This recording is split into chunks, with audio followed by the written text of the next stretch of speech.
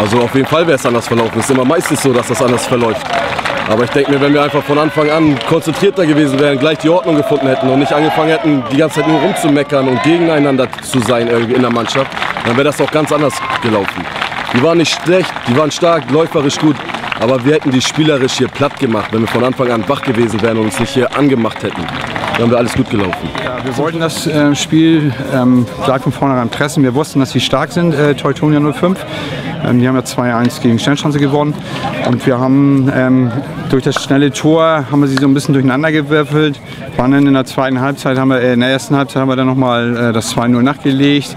Ähm, nach der Halbzeit gleich, in der 47. haben wir sogar noch das 3-0 gemacht. Ähm, so konnten wir dann ein bisschen befreiter ausspielen.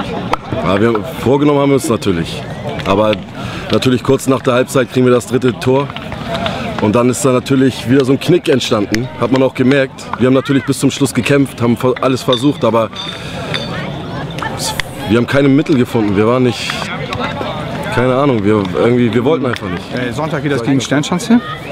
Und äh, wir werden uns jetzt schön regenerieren, ähm, Freitag nochmal ein lockeres Training ansetzen. Und dann hoffen wir, dass wir Sonntag äh, drei Punkte oder einen Punkt zumindest mitnehmen wollen. Ne? Also wir wollen natürlich drei, ist klar, sonst würden wir da nicht hinfahren. Aber ich glaube, wir werden das auch hinkriegen. Was ist jetzt passiert? Das ist natürlich ärgerlich, so kurz nach dem Spiel. Da, also ich bin auch völlig geladen, aber wir haben ein Ziel, wir wollen aufsteigen. Wir sind, stehen jetzt nicht so schlecht da. Wir haben einen Sieg, eine Niederlage.